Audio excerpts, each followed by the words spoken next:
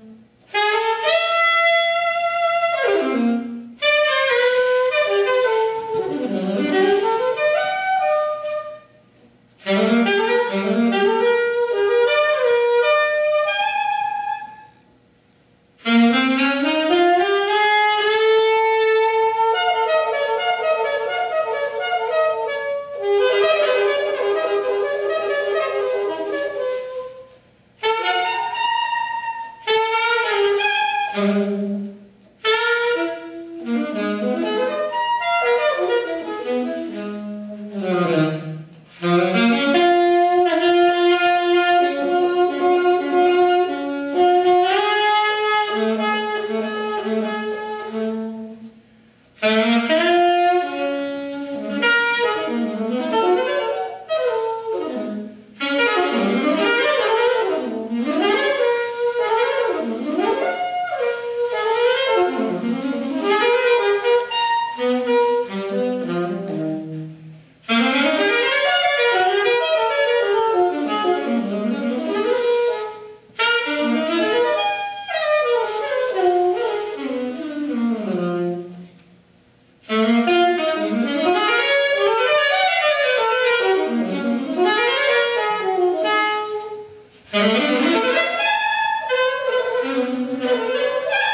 Mm-hmm.